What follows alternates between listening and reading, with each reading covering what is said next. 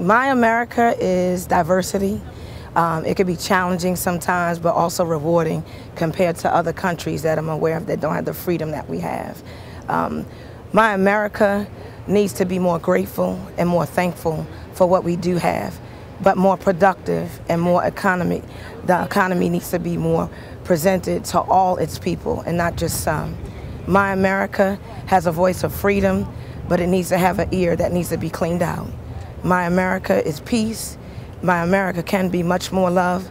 My America can be much more outstanding with dreams that are conquered and lifted up. My America, it's all right with me.